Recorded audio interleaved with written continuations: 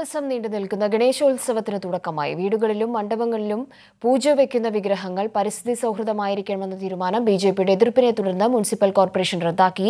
ഗണേശ് ചതുർത്ഥി ആഘോഷങ്ങൾക്ക് സെപ്റ്റംബർ ഇരുപത്തിയെട്ടിന് വിഗ്രഹങ്ങൾ നിമജ്ജനം ചെയ്യുന്നതോടെ പരിസമാപ്തിയാകും. പത്ത് ദിവസം നീണ്ടു നിൽക്കുന്ന ഗണേശോത്സവത്തിനായി മുംബൈ നഗരമൊരുങ്ങി.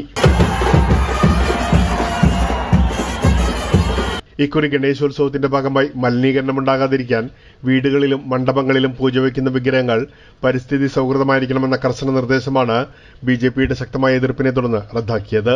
പരിസ്ഥിതി സൗഹൃദ വിഗ്രഹങ്ങളും മറ്റു വിഗ്രഹങ്ങളും തമ്മിലുള്ള വ്യത്യാസം മനസ്സിലാക്കാൻ ഗണേശ വിഗ്രഹങ്ങളിൽ വിവിധ സ്റ്റാമ്പുകൾ നൽകാനുള്ള നഗരസഭയുടെ നടപടിയാണ് ബി ജെ പിയെ ചൊടിപ്പിച്ചത്.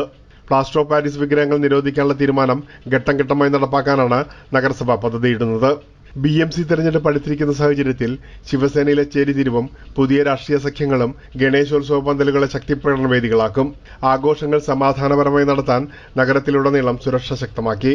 മുംബൈയിൽ ഏറ്റവും അധികം ആളുകൾ സന്ദർശിക്കുന്ന ഗണേശ വിഗ്രഹമാണ് ലാൽബാഗ് ചാരാജ പ്രശസ്തരും പ്രമുഖരുമടക്കം ലക്ഷക്കണക്കിന് ഭക്തരാണ് ദർശനത്തിനായി ഇവിടെ എത്തുന്നത്.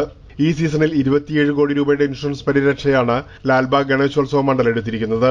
അതേസമയം നഗരത്തിലെ ഏറ്റവും സമ്പന്നമായ ഗണേശോത്സവ സംഘാടകരായ king സർക്കിളിലെ G S P Seva Mandal മുന്നൂറ്റി അറുപത് കോടി രൂപയുടെ പോളിസിയാണ് സ്വന്തമാക്കിയത്.